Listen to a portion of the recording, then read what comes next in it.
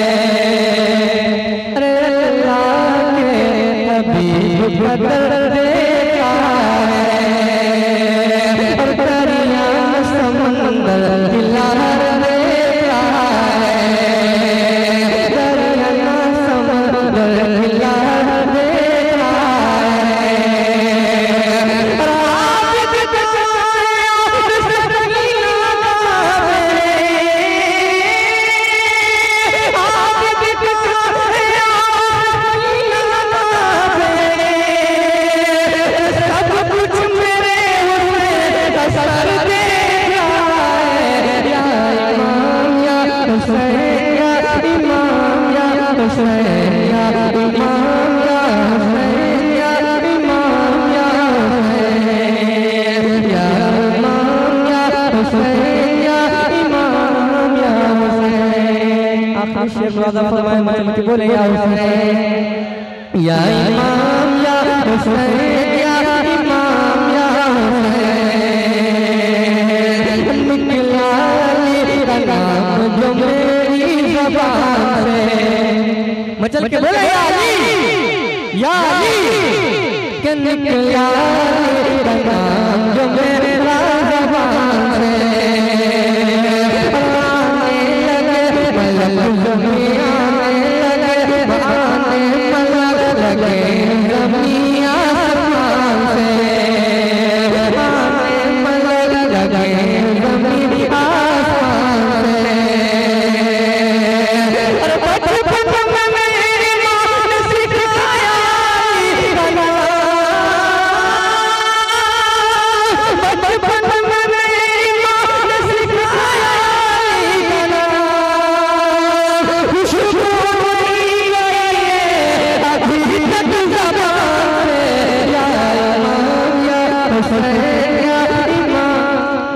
लाख कमोबेश दो लाख चौबीस हज़ार अम्बिया इस दुनिया में तशरीफ़ लाए। परवरदिगार आलम ने उन तमाम नबियों में जिस अजीम जात को, जिस अजीम हस्ती को सबसे आला, सबसे अफजल, सबसे बाला, सबसे बरतर, सबसे अजीम मर्तबा, पोस्ट, रुतबा अता फरमाया वो जात हमारे और आपके प्यारे आका, दो आलम के ताजदार, मक्की मदनी ताजदार, आमिना के लाल की मुकद्दस जात है। सारी कायनात में परवरदिगार आलम ने आपको खातमियत के लकब से मुलक्कब फरमाया और आपको नबियों का आखिर किया गया। खातमियत का मोहर लगा करके परवरदिगार आलम ने इस कायनात में अपने महबूब को मबूस फरमाया। अब ज़ाहिर सी बात है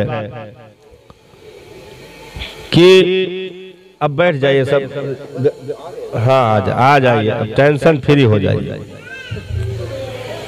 तो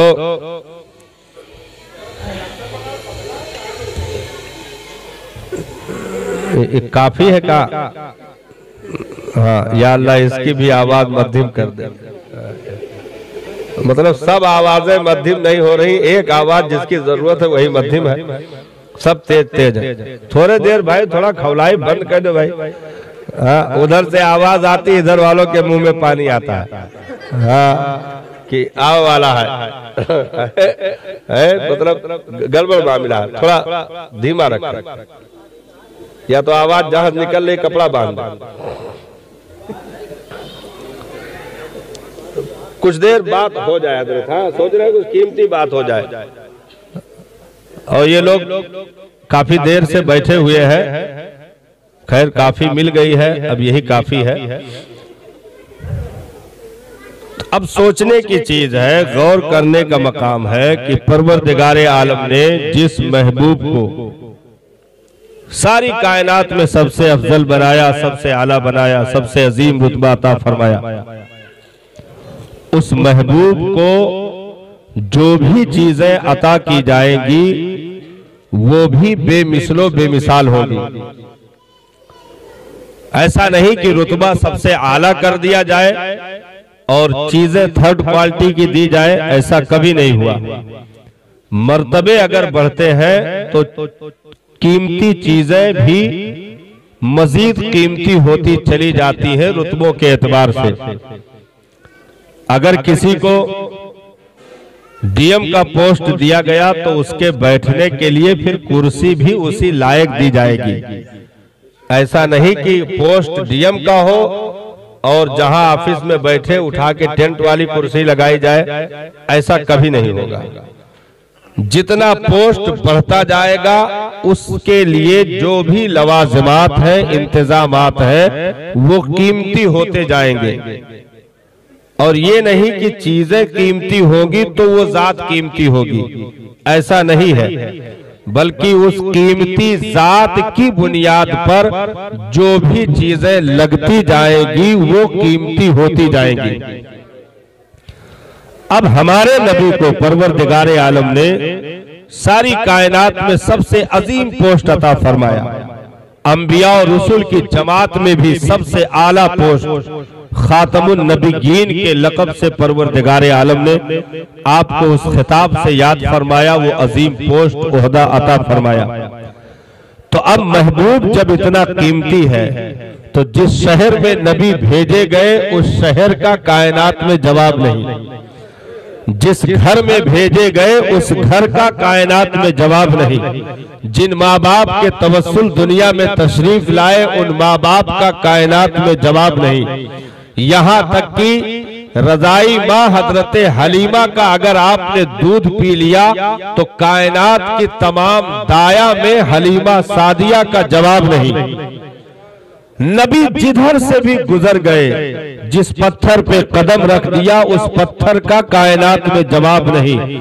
जिस पत्थर को नबी ने अपने लबों से चूम लिया उस पत्थर का कायनात में जवाब नहीं। तो ऐसे ही नबी को जो सारी कीमती चीज़ें उनके दम कदम से बनती चली गई उनको वजूद मिलता चला गया ऐसे ही जो उम्मत रब ने अता फरमाई इस उम्मत की वजह से नबी का रुतबा नहीं बढ़ा बल्कि नबी के कीमती होने की बुनियाद पर इस उम्मत को सारी कायनात में सबसे ज़्यादा कीमती बना दिया गया।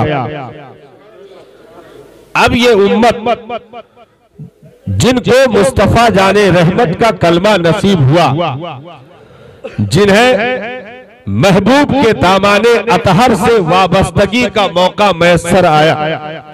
इस उम्मत का आदम से लेकर के ईसा तक जिन अंबिया को रब ने उम्मतें अता फरमाई, उन उम्मतों में या कयामत तक जितने भी पैदा होने वाले होंगे जिन उम्मत को महबूब का कलमा नसीब हो गया जिन लोगों को उनका दामन नसीब हो गया इनकी कीमतें हर दौर में सबसे ज़्यादा थी आज भी है और सुबह कयामत तक रहेगी।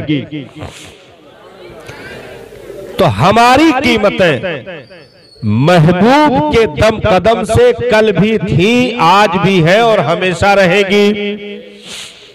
अब ये देखना है कि कीमत कहाँ देखी जाती है। कीमत कहाँ देखी जाती है।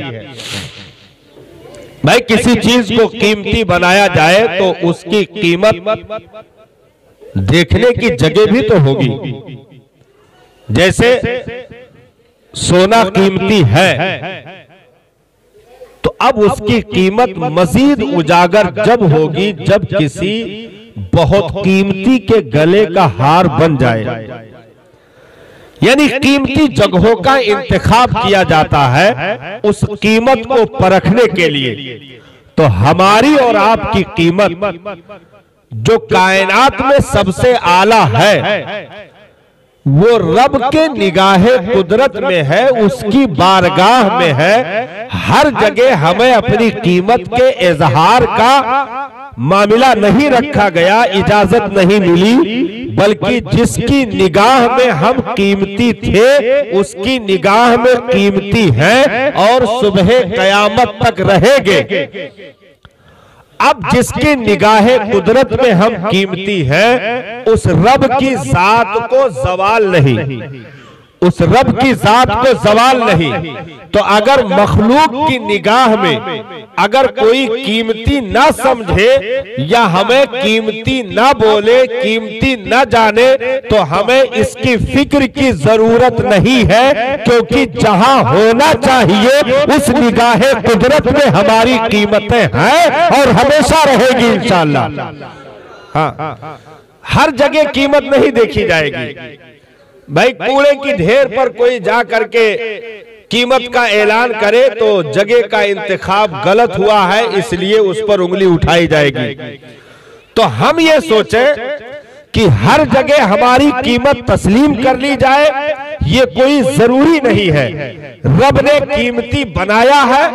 अब कीमती कहाँ के लिए बनाया है, वो जगह भी देखी जाएगी। तो हमारी असल कीमतें आखिरत की दुनिया की है और इंशाअल्लाह वहाँ वो कीमतें हम और आपको अता की जाएगी कि जहाँ दुनियावी कीमतें पाने वाले जलीलो खार हो करके जंजीरों में जकड़ कर मुँह के बल घसीट करके जहाँ ईंधन बनाए जा रहे होंगे, वहाँ परवर दिगारे आलम, हम जैसों के सरों पर इज्जतों का ताज सजाएगा और अरसे महशर में वो रौनकें अता फरमाएगा कि नबी ने इरशाद फरमाया, सबसे पहला इनाम मेरी उम्मत को मैदान महशर में ये दिया जाएगा कि उसे अपने रब का दीदार नसीब होगा। उसे अपने रब का दीदार नसीब होगा। ये सबसे पहला इनाम अता किया जाएगा। तो हमें कभी भी एहसास कमतरी का शिकार होने की ज़रूरत नहीं है। क्योंकि किसी के न चाहने से अगर हमारा कोई ऐसा भी आदमी जो हमारी खैर खाही नहीं चाहता है तो हमें फ़िक्र करने की ज़रूरत नहीं है। हाँ एक चीज़ है जिस फ़िक्र को इस दुनिया में हमारे कलेजों में रख करके हमें इस ज़मीन पर रखा गया है। इस ज़मीन पर रखा गया है कि नहीं? ठीक बात है सही हो रही और ज़रूर करिए। बतवाओ ना भाई। तो हमारी कीमत है। हमारी कीमत है। देखो बहुत दूर से हम घेराव कर रहे हैं थोड़ा सा मामला इधर उधर हुआ तो मतलब बानर बानर इतना कुल पानी बाँध पा तो कट के कुल बह जाए। बहुत दूर से बन बन देखिए है हालात हाजरा पे हाजरा हाँ और इंशाल्लाह एक नई गुफ्तगु करने की ख्वाहिश है। किसी स्टेज पे नहीं बोले। हैं। हाँ कारी फरीद साहब यहीं पर अल्हम्दुलिल्लाह ये मौजू पैदा हुआ है और यही इख्तिताम होगा इंशाल्लाह हाँ। है हालात हाजरा पर हमें समझने की देखिए आदमी जब कभी एहसास कमतरी का शिकार होता है तो अच्छी चीज़ें भी बसा औकात छोड़कर अलग हो जाता है। बाद में उसे एहसास होता है कि हमने गलती की। लेकिन जब वक्त निकल चुका होता है ऐसे ही हालात के दबाव की बुनियाद पर आदमी कहीं कहीं बेकलमा हो जाता है मादल्ला। अपने दीन से बेवफा हो जाता है और कुरान से उसका एतमाद मादल्ला उठने लगता है। अपने दीन की सच्चाई अपने मज़हब की सदाकत से उसका भरोसा उठने लगता है मादल्ला। तो वो छोड़ करके दुनिया की चंद चका चकाचौंध रोशनियों के हवाले होकर जब आँखें बंद होती हैं इस दुनिया से तब उसे पछताना होता है कि हमने बहुत बड़ी कीमती चीज़ को खो दिया, हमने बहुत बड़ा गलत कदम उठा दिया, लेकिन अब वक्त निकल चुका होता है क्योंकि तौबा का दरवाज़ा बंद हो चुका होता है। इसलिए इन मजलिसों से, इन जलसों से, इन मिलाद के उर्स की महफिलों से हमें और आपको जीने का हौसला मिलता है। हाँ जीने का हौसला मिलता है और इनसे एक मुरझाई हुई कलियाँ खिलती है और नई ज़िंदगी की साँसें हमें और आपको अता की जाती है। इसलिए इन मजलिसों में हाजिरी हमारे लिए लाजिमो ज़रूरी है कि दुनिया में कहीं भी रहे तो सिर्फ़ दुनिया की बातें होती हैं। यही वो जगह है जहाँ आ करके शुरू किरत से लेकर के अखीर सलातो सलाम और दुआ तक सिर्फ़ दीन की बात होती है दुनिया की बातें नहीं होती। हाँ सिर्फ़ दीन की बात होती है। तो अब कीमती हमें और आपको बनाया गया। अब हमें किसी और चीज़ के फ़िक्र की ज़रूरत नहीं है। एक फ़िक्र। बात यहाँ से कटी थी। बे एक फ़िक्र। सिर्फ़ हमें दे करके इस दुनिया में भेजा गया। और इसको वसी कर लीजिए। हमें किसी के खौफ की हाजत नहीं है। सिर्फ़ एक खौफ हमारे कलेजे में रख करके इस दुनिया में हमें उतारा गया है। हमें और किसी के परवाह की कोई हाजत नहीं है। सिर्फ़ एक परवाह करने का हुनर दे करके इस कायनात में हमें रखा गया है। अब वो क्या है? हमें बंदों को राज़ी करने का हुक्म नहीं है बल्कि अपने अल्लाह और रसूल को राज़ी करने का हुक्म है। हमें बंदों को खुश करने का हुक्म नहीं। अल्लाह रसूल की रजा और खुशी के तलबगार बनने का हुक्म है। हमें किसी मखलूक के खौफ का हुक्म नहीं। हमें सिर्फ़ अपने रब, यानी अल्लाह रसूल के खौफ को अपने कलेजे में रख करके इस ज़मीन पर जीने का हुक्म है। मखलूक को, मखलूक के खौफ की हाजत नहीं है। मखलूक को खालिक के खौफ की हाजत है। अगर हमने वाकई अपने रब से इस ज़मीन पर खौफ का हक अदा कर दिया, डरने का हक अदा कर दिया तो वो ऐसे बेखौफ कर देता है इस दुनिया में कि सिर्फ़ कर नहीं देता, कुरान में ऐलान कर दिया है लाख इन पर ना कोई खौफ है, ना इन पर कोई गम है। क्यों नहीं है? इंसान है फिर खौफ क्यों नहीं? इंसान है गम क्यों नहीं?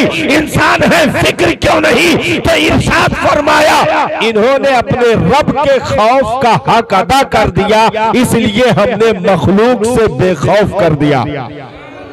हाँ, एक खौफ अपने कलेजे में रख करके हम इस दुनिया में आए हैं। और उसी खौफ का अगर हमने हक अदा कर दिया अपनी ज़िंदगी के लम्हात में तो फिर दुनिया की कोई ताकत उस मर्द मोमिन को खौफ नहीं दिला सकती है, जिसने अपने कलेजे में अल्लाह रसूल के खौफ को जगह दी है। अल्लाह रसूल के खौफ को बिठा करके रखा है। एक मर्द कलंदर जिसने वाकई मकसद ज़िंदगी को इस ज़मीन पर अदा करने में कामयाबी हासिल की तो परवर दिगारे आलम, उसकी ज़िंदगी को कायनात वालों के सामने बेमिसरो बेमिसाल कर देता है। फिर उसके वजूद ही नहीं साहब। पैर में पड़े हुए खड़ाऊ भी इतने कीमती होते हैं कि वक्त के शोरमा उड़ने वाले को चंद मिनटों में अजमेर में ठंडा करके ज़मीन पर लाकर पटक देते हैं और बताते हैं कि मोइनुद्दीन अजमेरी से टकराने की कोशिश न करना तो उसके जूतों से नहीं निपट सकता है। वजूद से टकराना तो बहुत दूर की बात है। तो उसके कदम में पड़े हुए खड़ाओं का मुकाबला नहीं कर सकता है। मोइनुद्दीन के वजूद से मुकाबला करना तो बहुत दूर की बातें हैं। तो ये कीमतें क्यों मिली? उन्हें इतना कीमती क्यों किया गया? सिर्फ़ वजह यही है साहब कि उन्होंने अपने रब का और अपने नबी के खौफ का हक अदा कर दिया। इस ज़मीन पर तो रब ने मखलूक से उन्हें बेखौफ कर दिया। बेखौफ कर दिया। हमारे और आपके इस दुनिया में मुस्कुराने का हुनर सिर्फ़ यही है कि परवर दिगारे आलम ने हमें अपने महबूब के उम्मत के लिए चुन रखा है। उम्मती उसने बनाया। और महबूब की महबूबियत सुबह कयामत तक के लिए है। ये बहुत बारीक चीज़ है हज़रत इस पर गौर कीजिएगा। जिस महबूब का उम्मती बनाया। उस महबूब की महबूबियत सिर्फ़ मक्का तक महदूद नहीं रखी।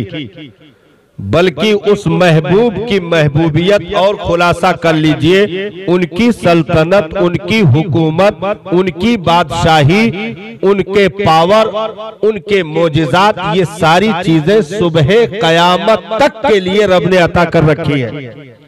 जिस महबूब को इतना पावर रब ने अता फरमाया, उस महबूब को पावर एक वक्त के लिए नहीं है। कयामत तक के लिए पावर है, कयामत तक के लिए हुकूमत है, कयामत तक के लिए इमामत है, कयामत तक के लिए उनके मुक्तदा होने का मामला है, कयामत तक के लिए उनकी शहनशाहियत का मामला है। तो अब जब ये आपने कह लिया और यहाँ तक यकीनी मामले पर पहुँच गए तो दूसरी जानिब ये भी कह लीजिए, जिस महबूब को ऐसी लाजवाल सुबह कयामत तक रब ने हुकूमत अता कर रखी है तो ऐसे ही ना मिटने वाली उम्मत भी कयामत तक के लिए अता कर रखी है। जब महबूब की महबूबियत सुबह कयामत तक के लिए लिए है तो महबूब की उम्मत भी कयामत तक के लिए है।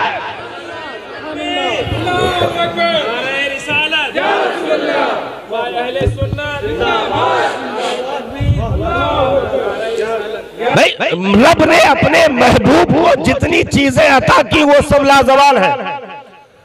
किताब दिया बेमिसाल, कयामत तक कुरान चलेगा। कयामत तक नबी की शरीकत चलेगी। कयामत तक नबी का दीन चलेगा। कयामत तक नबी का पावर। और कयामत तक ही नहीं, कयामत में भी मजीद पावर। महबूब के पावर कयामत में भी और ज़्यादा। वहीं पर तो शफाते कोबरा का ताज मिलेगा। वही तो मकाम महमूद अता किया जाएगा। तो अब जब जब ऐसे महबूब को सारी चीज़ें लाजवाल दी गई है तो क्या उम्मत चंद सालों में मिट करके खत्म हो जाएगी? नहीं नहीं। चौदह सौ साल से इस उम्मत की मुस्कुराहट इस ज़मीन पर आज भी बाकी है। सुबह कयामत तक बाकी रहेगी। क्योंकि अगर हमें मिटाना होता तो किसी और नबी की उम्मत में भेजा जाता। आखिरी नबी का उम्मत ही न बनाया जाता।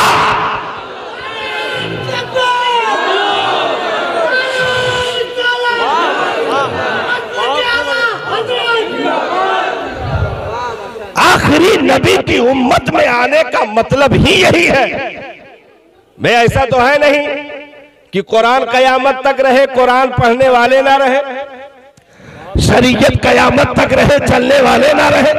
महबूब की महबूबियत कयामत तक रहे, दुरूद पढ़ने वाले ना रहे, सलाम भेजने वाले ना रहे, महबूब की हुकूमत सुबह कयामत तक के लिए रहे और उनके दामान से वाबस्तगी रखने वाले ना रहे, ऐसा कभी नहीं हो सकता। अगर महबूब की महबूबियत कयामत तक है, कुरान कयामत तक है, शरीयत कयामत तक है इख्तिदार कयामत तक है शहनशाहियत कयामत तक है, हुकूमत कयामत तक है तो ये उम्मत भी सुबह कयामत तक के लिए है। हाँ। और हम थोड़ा सरसरी तौर पर इब्तदा से एक, एक तारीखी जायजा ले लेते हैं। शुरुआत से बिल्कुल शुरुआत से।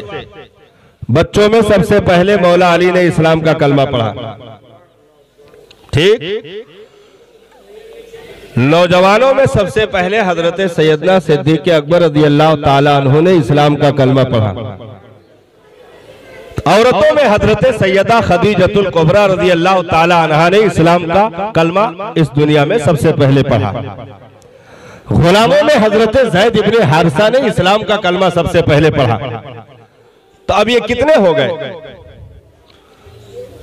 मैं हज़रत मौला अली, हज़रत सिद्दीकी अकबर दो, हज़रत सैदा तीन, हज़रत जैद इबन हारसा चार। इसके अलावा पूरी दुनिया में कोई नहीं था। कि था कोई मामला? इन चार के अलावा इस दीन इस्लाम का कलमा पढ़ने वाला, इस नबी की नबूवत को तस्लीम करने वाला इस दुनिया में कोई नहीं था। चार के अलावा अब मक्का वालों की साजिशें गर्म होना शुरू हुई। अहले बातिल के पसीने आने शुरू हुए। बातिल ने आपस में दारुल नदवा में मीटिंगें शुरू कर दी। गली कूचों में एक दूसरे के कान में लफ्ज डालने शुरू कर दिए कि क्या किया जाए। बढ़ते कदम को रोका जाए, क्योंकि नबी ने कोहे सफ़ा की चोटी को मिंबर बना करके अपनी नबूवत का ऐलान कर दिया है, अपनी रिसालत का ऐलान कर दिया है। चालीस साल उन्हीं मक्का वालों में मुस्तफ़ा जाने रहमत खामोश ज़िंदगी गुजारते रहे। उसके बाद नबी ने ऐलान कर दिया। मक्का वालों, सुन लो। एक खुदाए वहदहुला शरीक की इबादत ज़रूरी है। उसके अलावा बाकी सारे अकायद बातिल हैं। एक रब की रबूबियत को तस्लीम करना लाजिम ज़रूरी है। बाकी किसी को रब कहना इंसानियत के भी खिलाफ है। एक नबी को, उनके कलमे को तस्लीम करना लाजिम ज़रूरी है।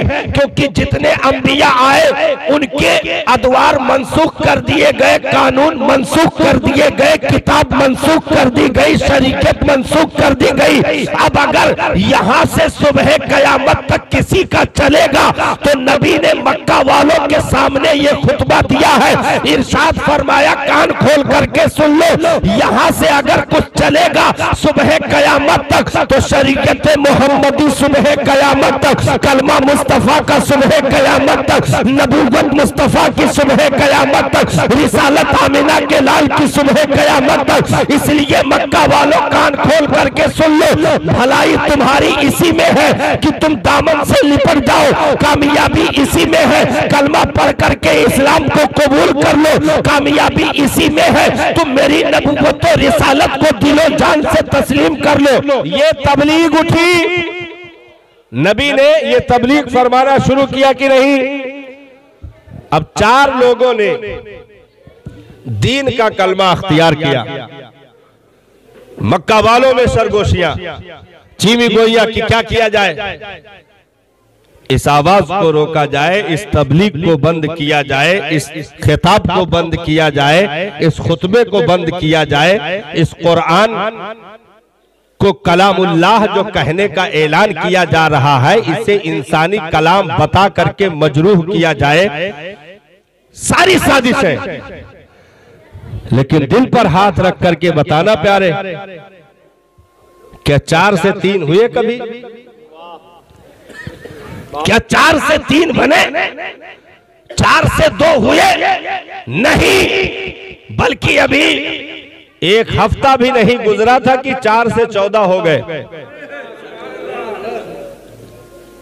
अब मक्का वाले क्या पीछे हट गए कि हटाओ भाई, अब चलने दो, जब आ गए हैं तो फिर आने दो। नहीं पहले से ज़्यादा पहले अगर 50 फ़ीसद उन्होंने कोशिश की थी कदम खींचने की तो अब मक्का वाले 110 फ़ीसद उतारू हो गए। हाँ। पहले अगर 50 फ़ीसद कोशिश की थी कि तबलीग को बंद कर दो, कुरान के वसूल को बंद कर दो, नबी के बढ़ते कदम में जंजीरें डाल दो तो 50 परसेंट अगर थी तो अब जब 14 बन गए 20 बन गए तो वो 110 परसेंट कोशिशें बढ़ गई। अभी तक सिर्फ़ लफजन मामला था। लेकिन अब ये था कि जिसको भी पा जाते थे उसको मरने के करीब तक मारते थे। हाँ। मरने के करीब तक। और यहाँ तक भी किया कि मार भी दिया। हज़रत अम्बार इब्ने यासिर के लिए आग का अंगारा लगाया गया। कपड़े उतार करके आपको नंगे बदन उस अंगारे पर लिटा दिया गया। आहिस्ता आहिस्ता जिस्म की चर्बियाँ पिघल पिघल करके अंगारों को बुझा दी जिस्म की खाल उधड़ गई। गशी की कैफियत है जबान निकल चुकी है। निकाल लिया गया बाहर। जब होश में आए तो पूछा गया, क्या कहते हो? तो कहा, क्या कहता हूँ यही सुनने के लिए? बेताब हो। कलमा तो उन्हीं का रहेगा, इस ढांचे से सिर्फ़ रूह निकल सकती है। मुस्तफ़ा का दिया हुआ ईमान नहीं जा सकता। 110 परसेंट कोशिश है। आज पूरी दुनिया मिल करके उतनी कोशिशें नहीं कर सकती है जितना कि इनके आवाज़ दाद कर चुके इतनी कोशिशें पूरी दुनिया मिल करके इस्लाम के बढ़ते कदम को रोकने के लिए, उसूल कुरान को रोकने के लिए, पैगंबर के मिशन को रोकने के लिए पूरी दुनिया मिल करके, इकट्ठा हो करके वो कोशिशें नहीं कर सकती जो अबू जहल करके चला गया, अबू लहब करके चला गया, उतबा शैबा करके चले गए, कुफाराने मक्का करके चले गए। हज़रत बिलाल के पैर में रस्सी डाली गई। गली के अवबास लौडों के हवाले कर दिया गया। इधर कोड़ा लगने से जो बदन पे जख्म है उस पर बजाय मरहम लगाने के नमक मिर्च छिड़क दिया गया। और उस रस्सी को लौंडों के हवाले किया गया जो मक्का की पथरीली। गलियों में उस रस्सी को पकड़कर हज़रत बिलाल को घसीटते थे। चमड़ियाँ उधर गई। बेहोश हुए होश में आए फिर बेहोश हुए आँखें उबल पड़ी। कलेजे पर वजनी पत्थर रख करके खुद उमैया बैठ करके कह रहा है बिलाल क्या कहते हो? हज़रत बिलाल ने मुस्कुराते हुए ऐसे हालात में भी मुस्कुराते हुए उमैया से गुफ्तगु की, मैं मुस्तफ़ा के जामे मोहब्बत का मस्त हूँ, ये वो नशा नहीं जिसे तुरसी उतार दे जान तो दे सकता हूँ, मुस्तफ़ा का दिया हुआ ईमान नहीं दे सकता। ये अल्फाज ऐसे थे जो उस दौर के कुफरो शिरक की कमर को तोड़ने के लिए काफ़ी थे। 110 परसेंट साजिश है। तो जो 14 बने थे अभी एक हफ़्ता और गुजरा होगा कि वो उनतालीस में तब्दील हो गए। उनतालीस में तब्दील हो गए। काफिला चार से चला था उनतालीस पहुँच चुका। अब जुल्म का जो मामला 110 परसेंट पहुँच गया था वो 250 के ऊपर पहुँच गया। जुल्म का सिलसिला 250 के ऊपर। अभी तक तो गुलामों को पकड़कर मारा जाता था जदोकोब किया जाता था।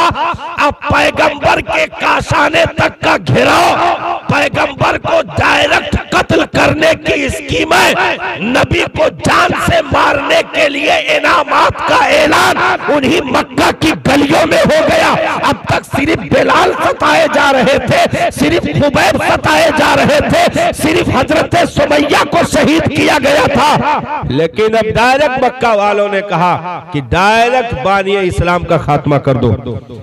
माजल्ला ना रहे बास, ना बजे बांसुरी। ये ऐलान हो गया। कौन ये काम करेगा? एक साहब मजमे से उठकर खड़े हो गए। और कहा, मक्का वालों, घबराने की ज़रूरत नहीं है, ये काम मैं बहुत अच्छे से कर लूँगा। कहा, ठीक है, जाओ, तुम्हारी ज़िम्मेदारी है। और, भांजे, मैं समझ रहा था, तुम्हारे सेवा कोई दूसरा नहीं कर सकता। जाओ। शाबाशी दी, निकल पड़े, लंबा वाकया है। दारे अरकम में उनतालीस मुसलमान मौजूद हैं। मुस्तफ़ा जाने रहमत उसी घर में है। हज़रत अमीर हमजा सरकार के शफीक चचा उसी चौखट की निगहबानी कर रहे हैं, निगरानी कर रहे हैं, सिक्योरिटी में लगे हुए हैं। दूर से देखा कोई झूमता चला आ रहा है। अंदर खबर दी गई, सरकार वो आ रहा है। मेरे आका घबराए नहीं। मुस्कुराए, कहा, आने दो, आया नहीं है, भेजा गया है। आया नहीं, भेजा गया आए। वाकया लंबा है, मुख्तसर कर दे, आए। अभी कुछ कहते नबी ने दोनों बाजुओं को अपने दस्ते मुबारक से पकड़ लिया और कहा कि और कितनी देर लगाएगा? और कितनी देर लगाएगा? तलवार उधर गिरी कदमे नबी पे सर रख करके रो करके, गिड़गिड़ा करके कह रहे थे, कलमा पढ़ा करके इस्लाम के दायरे में दाखिल कर लीजिए। आपके दामन में जो सुकून है, कायनात के किसी गोशे में मौजूद नहीं है। नबी ने कलेजे से लगा करके ऐलान कर दिया, उनतालीस मिटाने के लिए मक्का वाले चले हो। चालीसवा महीने उम्र को शामिल करके कंप्लीट कर दिया।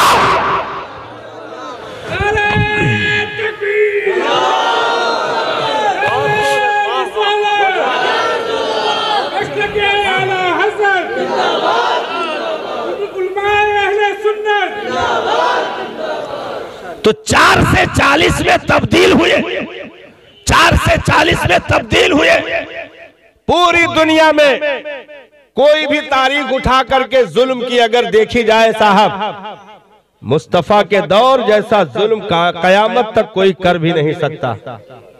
मेरे नबी ने खुद इरशाद फरमाया ये तो इस दौर का मामला हम लोग सोचते हैं, उस दौर का मामला नबी ने बताया। सारे नबियों के ताल्लुक से नबी ने इरशाद फरमाया।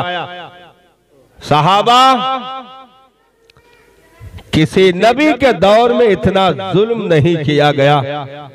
जितने जुल्म के पहाड़ मेरे वजूद पर तोड़े गए अगर दुनिया के किसी बड़े से बड़े ताकतवर पहाड़ पर भी वो डाल दिया जाता तो वो भी राई में तब्दील हो जाता सुरमे में तब्दील हो जाता।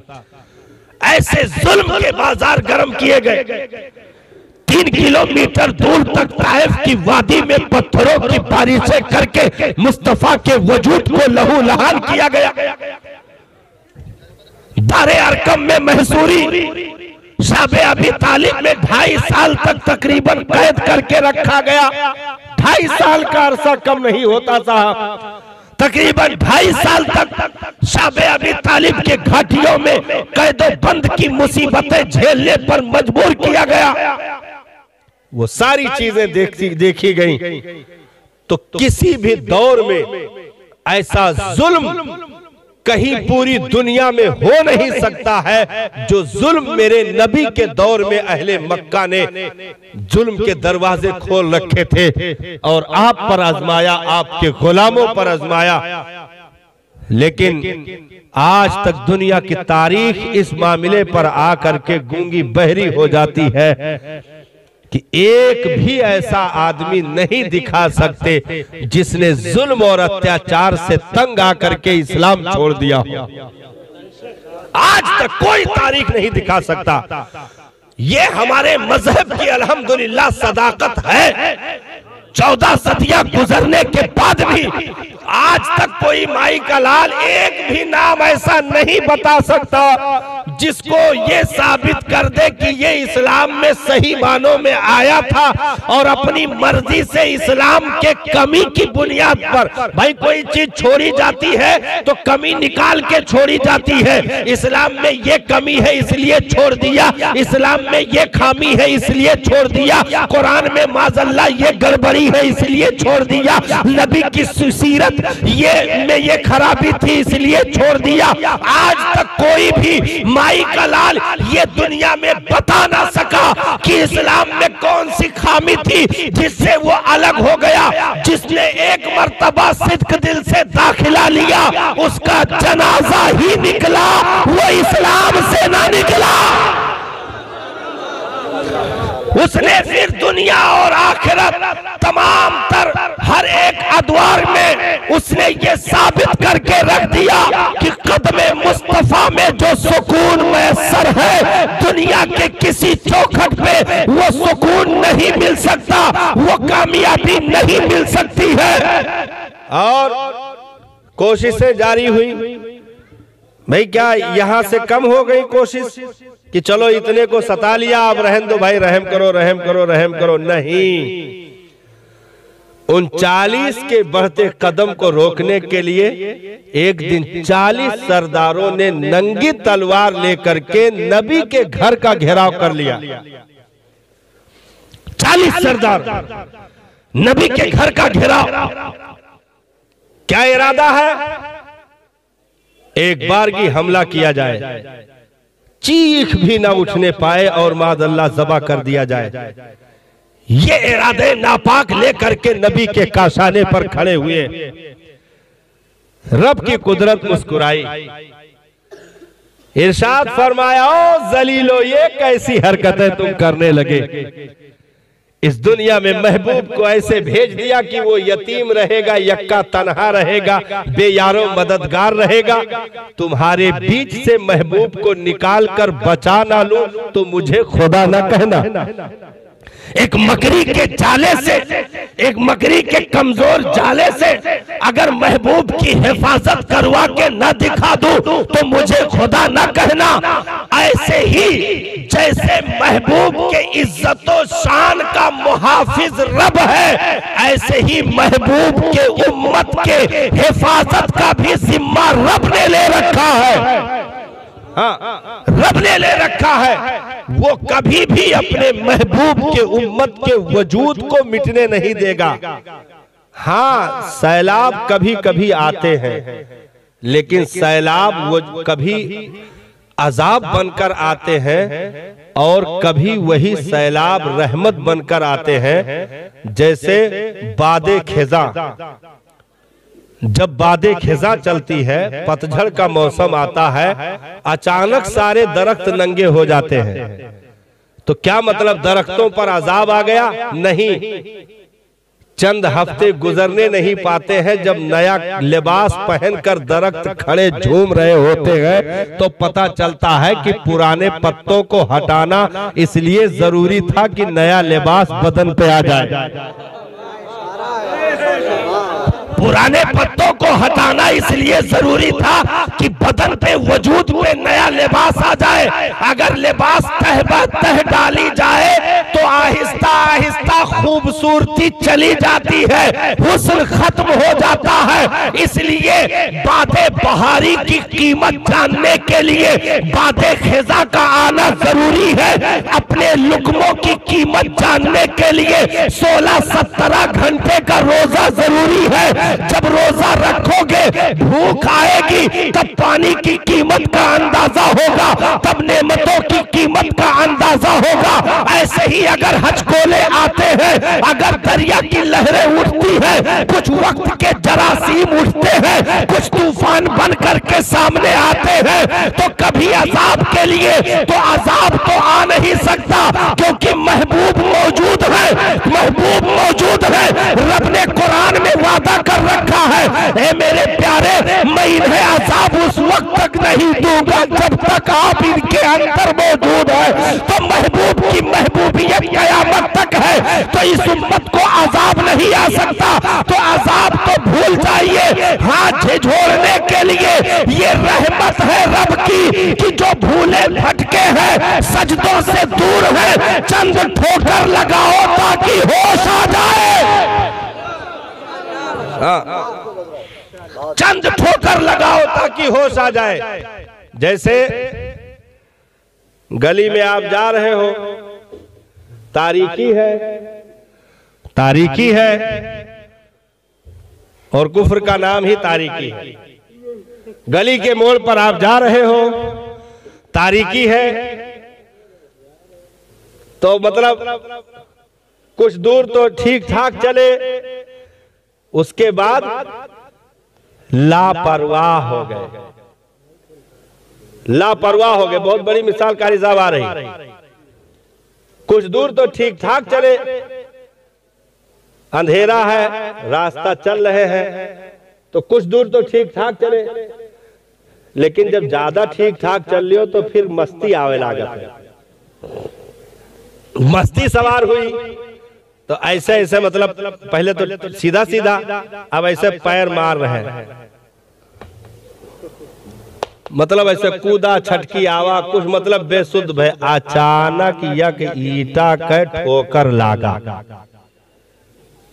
पैर के अंगूठा में एक बड़ा ईटा नीचे पड़ा था, ठोकर लगा, नाखून फट गया, खून निकला। अब जब ये चलेंगे तो वो अंदाज देखने लायक होगा।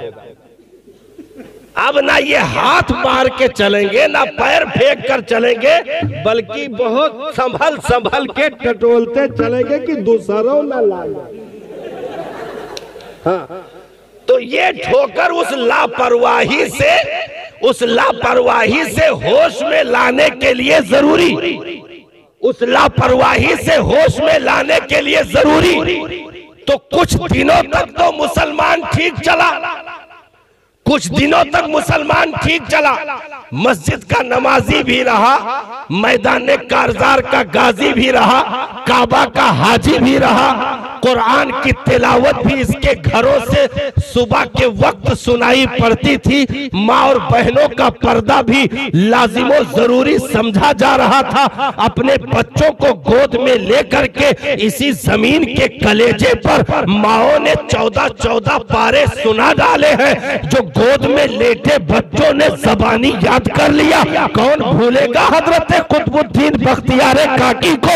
कौन भूलेगा गौसे जिलानी को? जिन्होंने माँ से सुन करके उन पारों को उनकी गोद में जबानी याद कर लिया।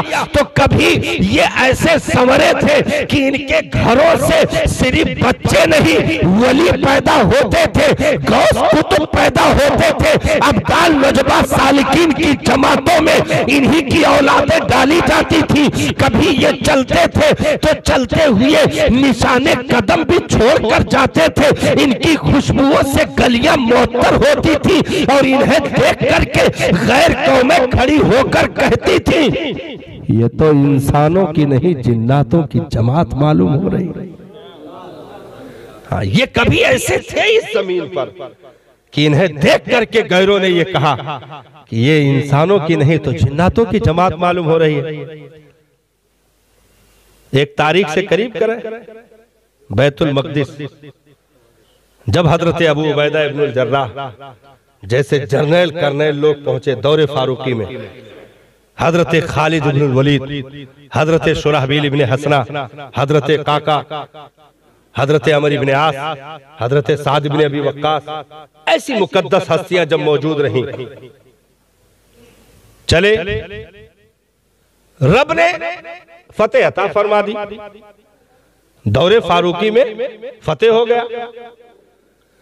यहूदियों ने एक शर्त लगाई। उसमें से एक शर्त तो यह थी कि अपने खलीफा को बुला लो। वो आ जाए, हम चाबी उनके हवाले कर देंगे। और एक शर्त यह भी लगाई गई कि हमारे बाज़ार खुले होंगे, तुम्हारी फौज बाज़ार के इस सिरे से उस सिरे तक सिर्फ़ गुजर जाए। हम ये शहर तुम्हारे हवाले कर देंगे। इस सिरे से उस सिरे तक गुजर जाए। हम ये शहर तुम्हारे हवाले कर देंगे। हज़रत खालिद इब्नुल वलीद रज़ी अल्लाह अन्हु ने अपने तमाम फौजियों को इकट्ठा किया और ऐलान फरमाया, जहाँ सारे खुतबे दिए वहीं पर रब के कलाम की मुकद्दस आयत तिलावत फरमाई। या अय्युहल्लज़ीना आमनू गुद्दू अबसारुकुम। ईमान वालो अपनी निगाहें नीची कर लो। ईमान वालो अपनी निगाहें नीची कर लो। यहूदो नसारा ने अपनी लड़कियों को नीम कपड़ों में अपनी दुकानों पर खड़ा किया, बाजारों में नंगी औरतों का जमावड़ा कर दिया, छतों के कंगरों पर नंगी औरतों का, कमसिन लड़कियों का जमावड़ा कर दिया। और फौज गुजरेगी। निगाह बहकेगी दिल बहकेगा वजूद बहकेगा। और ये आधी बाज़ार भी नहीं पार कर पाएँगे कि ये टूट पड़ेंगे लड़कियों की तरफ़ और फिर इनके ईमान का जनाजा निकल जाएगा। हज़रत खालिद इब्नुल वलीद ने इरशाद फरमाया मेरे साथियों तुम मैदान कारदार के जिहाद से भी ज़्यादा सख्त चीज़ें करने जा रहे हो। है ईमान वालों अपनी निगाहें नीची कर लो। अब दरवाज़ा खोला गया पूरी फौज को गुजारा गया। इस पार से उस पार चले गए। इस पार से उस पार चले गए। किसी ने पूछा यारा तुमने देखा बाज़ार में दुकानें खुली थी कि नहीं? दुकानें बंद थी कि खुली थी? कौन लोग खड़े थे? क्या था? तो उन्होंने कसम खा करके ये ज़िम्मेदारी के साथ ऐलान किया कि हम इधर से उधर पहुँच गए। कसम बखुदा ये भी नहीं मालूम कि बाज़ार बंद है कि खुली है। बाज़ार बंद है कि खुली है। अभी उस सिरे पर पहुँचना था अहले ईमान का कि पीछे से गैरों की जबानों से इस्लाम का कलमा जारी हुआ और कलमे की गूंज उठी। इस्लाम के नारे लगे, सदाएँ बुलंद हुई और सबों ने एक जबान होकर के कहा, जब गुलामों की पाकीजगी का ये आलम है तो मुस्तफ़ा की तहारत का आलम क्या होगा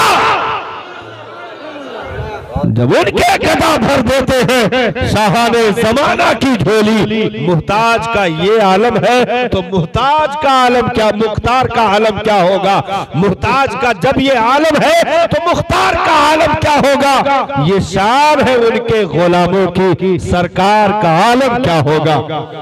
ये शान है उनके गुलामों की सरकार का आलम क्या होगा? तो कभी इस ज़मीन पर हम कीमती थे और अपनी कीमतें पहचानते हुए इस ज़मीन पर हमने गैरों में भी अपनी कीमतों को साबित करके रखा हुआ था। और हम जब बाहोश थे, हमारे घरों से हया की चादरें, हमारे घरों से गैरतों के दर्द, हमारे घरों से इस्लाम की खुशबू, हमारे घरों से कुरानी दावतें, हमारे घरों से शरीयत मुस्तफवी की बहारें, ये तमाम तर चीज़ें इसी ज़मीन पर देखी गई हैं। हाँ इसी ज़मीन पर देखी गई हैं। तो एक दौर चला जो मुसलमानों के लिए खैरुल कुरून कहा गया। हाँ एक दौर चला। तो ऐसे दौर में वाकई महबूब के उम्मतियों ने रब के इन बंदों ने इस ज़मीन पर साबित कर दिया। तो कुदरत भी वाकई मचल रही थी साहब। जब इन्होंने अपने आप को इतना सुथरा करके रखा तो कुदरत भी मचल रही थी। ये बात करते पूरी फौज के साथ मतलब देखे नहीं, ऐसे पहले सूखी ज़मीन पर चल रहे थे घोड़ों के साथ। घोड़ों पर सब सवार थे, सूखी ज़मीन पर चल रहे थे और बात ऐसे उठी, बातों में मगन हुए।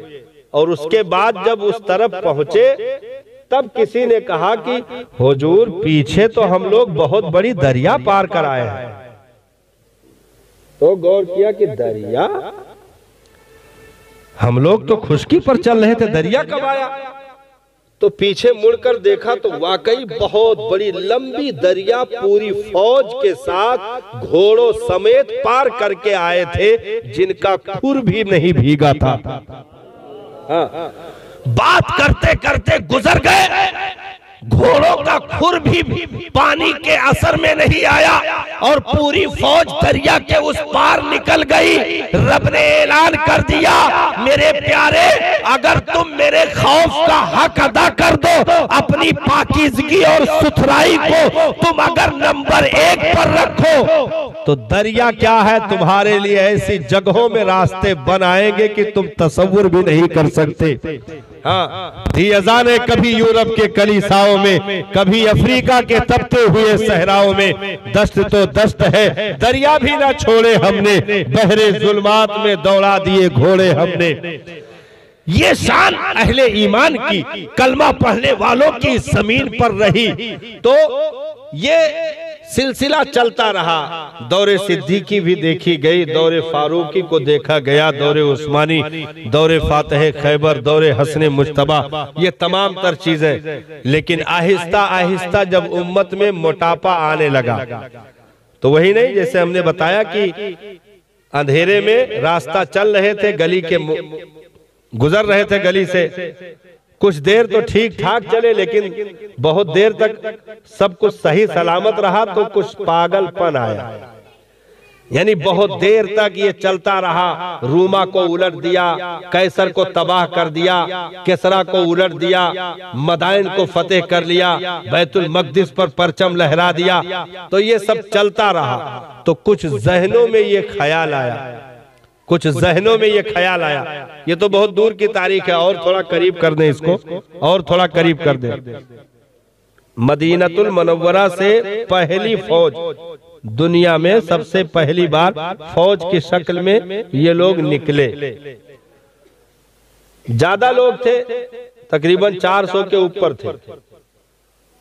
लेकिन अभी एक मंदिर चले थे कि मुनाफिकों को यकीन हो गया कि मक्का वालों से अब वो माल जो मुल्क शाम से अबू सुफियान के हाथ साथ आ रहा था वो नहीं मिलेगा अब डायरेक्ट झड़प होगी। लड़ाई हो जाएगी।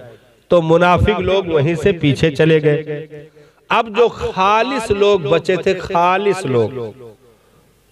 313 की तादाद में। वो बद्र तक गए। बद्र पर पहुँचे लंबा वाकया है। अल्लाह ताला ने कामयाबी अता कर महबूब की दुआएँ मुसलमानों के खुलूस रब ने कामयाबी अता फरमाई। एक साल के बाद, ठीक एक साल के बाद ओहद का मैदान गर्म हो गया। तो सहाबा अब जो है, हज़ारों में बन चुके थे। पहले तो तीन सौ तेरह थे, लेकिन अब सहाबा हज़ारों में आ चुके थे। मतलब हज़ार के ऊपर नीचे तादाद थी मुसलमानों की। तो अब ये हुआ कि भाई ओहद में चलना है। तो अब सहाबा का कोई भी अमल हो, वो उनके लिए नहीं, हम उम्मतियों के लिए है। जिन्होंने वाकई अपनी निगाहों से रुखे वदोहा की जियारत कर ली, उनके कदमों से लगे जर्रों की भी बराबरी उम्मत नहीं कर सकती है। हाँ हम किसी भी वाकये को सहाबी, सहाबा के दौर के किसी भी वाकये को बयान करके ये ज़ाहिर करने की कभी कोशिश नहीं करनी चाहिए कि मादल्ला कमज़ोरी उधर से हो गई। ना ना कमज़ोरी अगर तुम साबित करोगे तो बात सहाबा की नहीं बात रुखे मुस्तफ़ा की होगी। हाँ कि माद अल्लाह वो असर ना रहा कि यूसुफ का चेहरा देखें तो मिस्र में जनाने मिस्र की तारीखें बन जाए। अरब में मुस्तफ़ा का चेहरा देख करके माद अल्लाह फिर भी सहाबा सुधर ना पाए। ये कभी नहीं हो सकता। मेरे नबी ने गारंटी ली ज़िम्मेदारी ली जमानत ली इरशाद फरमाया असहाबी कर नजूम मेरे सहाबा सितारों के मानिंद है। फबी आई हिम तुम फहतदय तुम तुम में कोई भी इनकी एक की भी पैरवी कर लेगा वो हिदायत का रास्ता पा जाएगा। इरशाद फरमाया ओ लोगों मेरे सहाबा को गाली ना देना। नबी ने इरशाद फरमाया मेरे सहाबा को गाली ना देना। तुम में का आम आदमी, जो सहाबी ना हो, आम आदमी, ओहद पहाड़ के बराबर, ओहद पहाड़ तीन किलोमीटर से जायद में फैला हुआ पहाड़ है। ओहद पहाड़ के बराबर, अगर सोना राह खुदा में खैरात करे, मेरा सहाबी एक मुट्ठी जो राह खुदा में खैरात कर दे तो तुम उस एक मुट्ठी जो की भी बराबरी ओहद पहाड़ के बराबर सोना खैरात कर कर भी उसके अजर को नहीं पा सकते। वो कीमती वजूद है सहाबा की। तो जो भी अमल उनमें नुमाया हुए कभी अगर ऐसी चीज़ें आती हैं तो वो दर से उम्मत के लिए दर से उम्मत के लिए है सबक उम्मत के लिए। तो सहाबा चले ओहद की तरफ़। 313 आकर बद्र में मक्का वालों को 70 की तादाद में कत्ल कर चुके थे और 70 को गिरफ़्तार कर चुके थे। 313 अब एक साल के बाद वो 313 एक हज़ार के ऊपर थे। तो अब मक्का वालों का सामना ओहद के मैदान में होना था।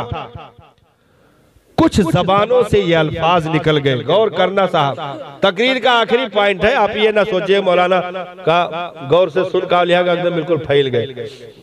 नहीं मतलब तकरीर का आखिरी पॉइंट है हम समझ रहे सलाम सलाम पाजल हाँ पढ़ जाए पढ़ जाए अच्छा एका मुकम्मल कर। हाँ, तो एका मुकम्मल कर। तो कुछ जबानों पर। हज़रत ये बहुत मतलब मग्ज कह लीजिए। और हालात हाजरा के लिए बहुत बड़ा सबक है ये मोड़ कुछ जबहा सिले कलाम है। ओहद की तरफ़ चले अब तादाद एक हज़ार है। जब बद्र की तरफ़ चले थे तो तीन सौ तेरह थे। कामयाबी हासिल कर ली बद्र में। मक्का वालों को गिरफ़्तार भी कर लिया, मार भी दिए गए। अबू जहल वगैरह बड़े बड़े जितने शोरमा थे, वो सब गढ़े में पड़े हुए थे, कत्ल हुए। सब खत्म हो गए, एक दया, एक तरह पीस दिया गया। तो अब जब ओहद की तरफ़ जा रहे थे तो कुछ जबानों से ये कलमे निकल गए।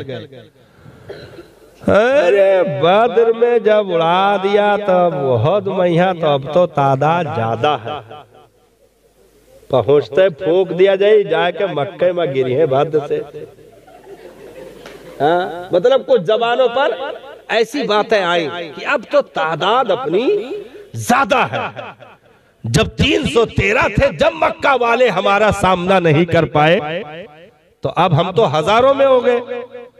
आने दो। तादाद नंबर एक की है ज़बरदस्त मुकाबला होगा मक्का वाले जा नहीं पाएँगे। पहुँचे।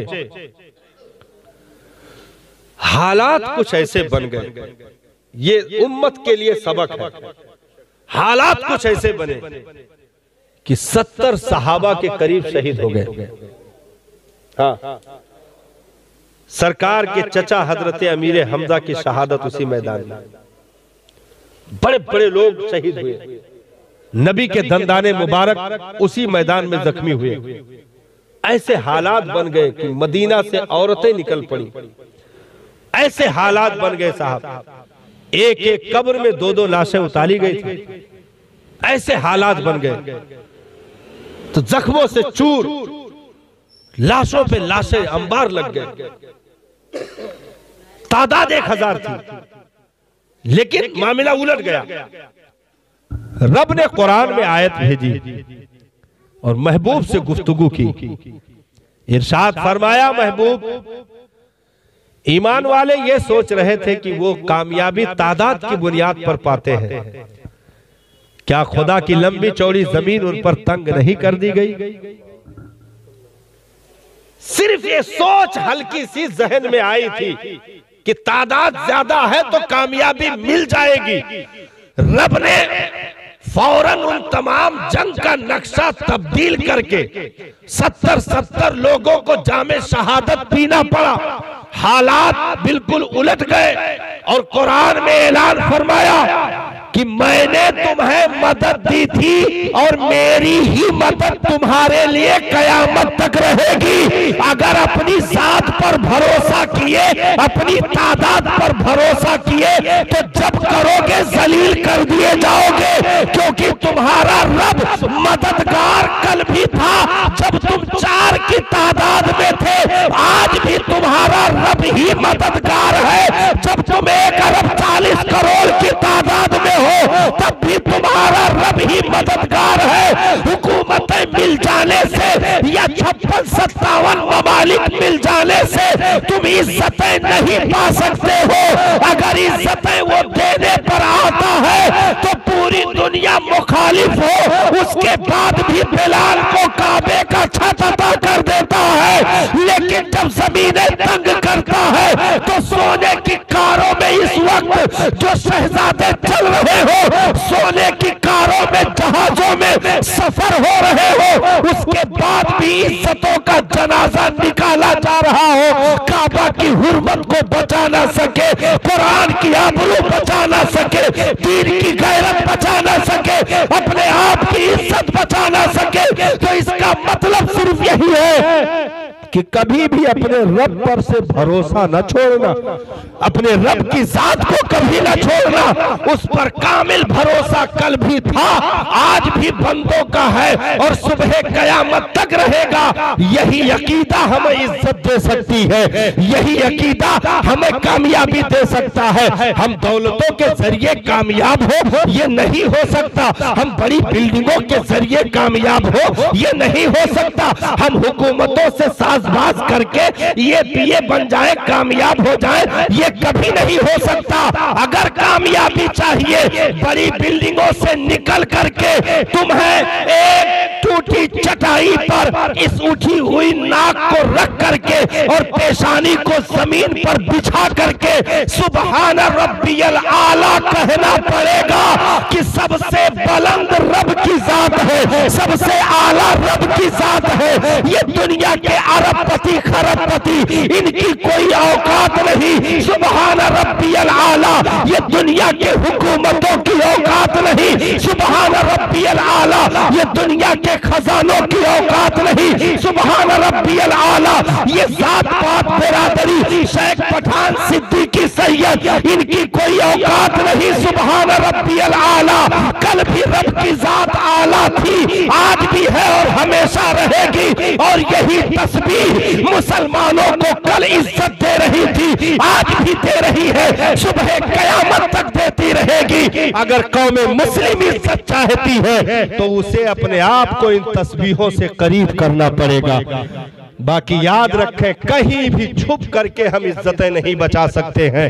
अगर बचना है तो आओ रब की बारगाह में और ये कहो मैं मुजरिम हूँ आका मुझे साथ ले लो कि रस्ते में है जा बजा थाने वाले अस्सलाम वालेकुम वक्त का क्यों ना सुल्तान बुरा लगता है बुरा लगता है?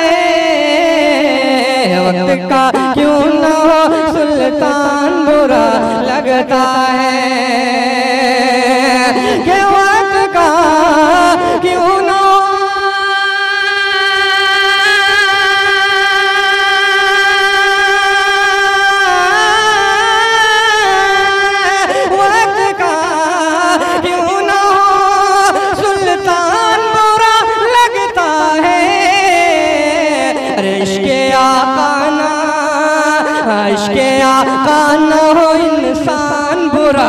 लगता है।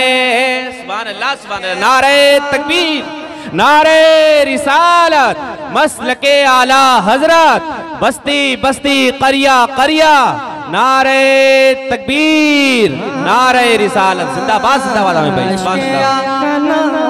इंसान बुरा लगता है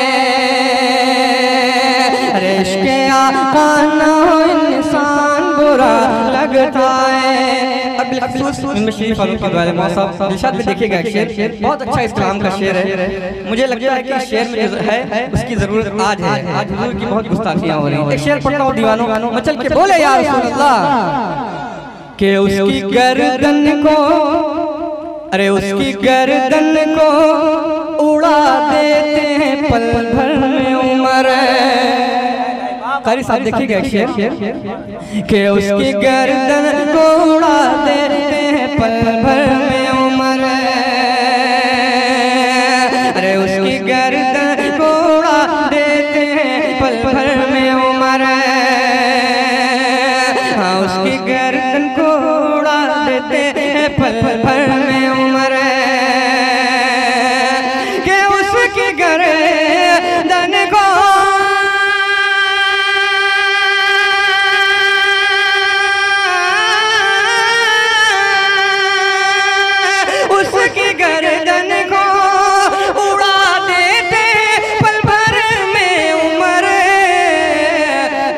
जिसको सरकार का फरमान बुरा लगता है।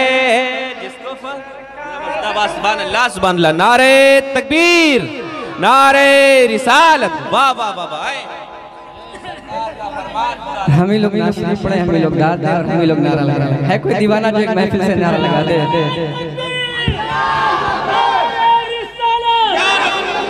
हज़रत आमिर इस्माइली हज़रत आमिर इस्माइली इश्क आका ना इंसान बुरा लगता है, बुरा लगता है। इश्क आका ना इंसान बुरा लगता है। अरे उसकी गर्दन को देते पल भर में उम्र।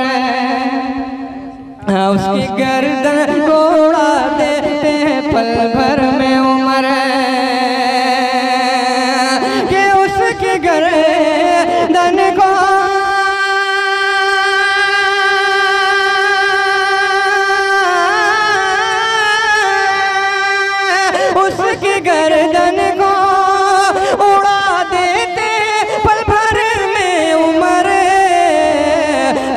जिसको सरकार का फरमान बुरा लगता है। हाँ जिसको सरकार का फरमान बुरा लगता है